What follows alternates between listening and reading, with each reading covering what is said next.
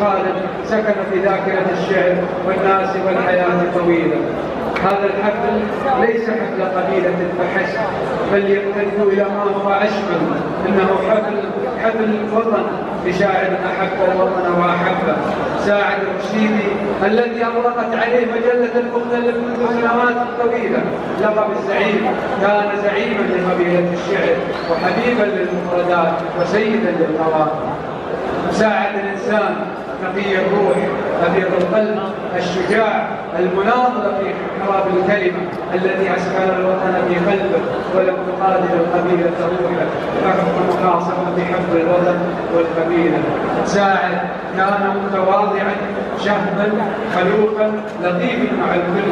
لم تغير الأضواء ولا نجاحات فاخرة كان يبذل الكاريزما أوجدت له في القلوب ضوءا ونشرا وإعجابا. الأمر الذي فعل منه أسطورة شعرية.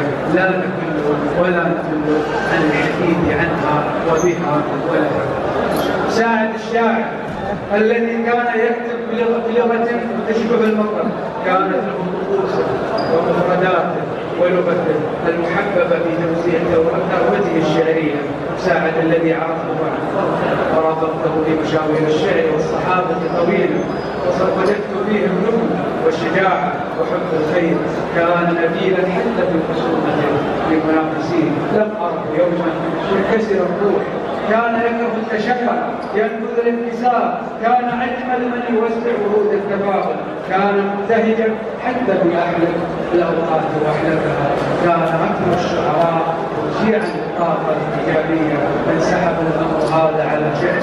ففي شعره نقرأ الانفراد الشعور الأمل والتفاؤل والايثار رحم الله ساعد الشيخ الله ساعد الذي اوجد نشيدا وطنيا للقبيله على وجه الخصوص. ألم يقل حنا سبايلها علي الملاسيم.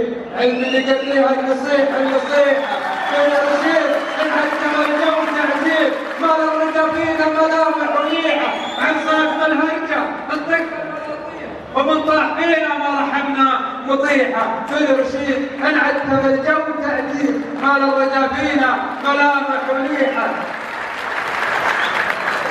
أدخل على الله واسلم الأمر تسليم واستغفره واستذكره واستبيحه ولا لسن محشمات الملاذيب قومك على اللي ما يثبت فيه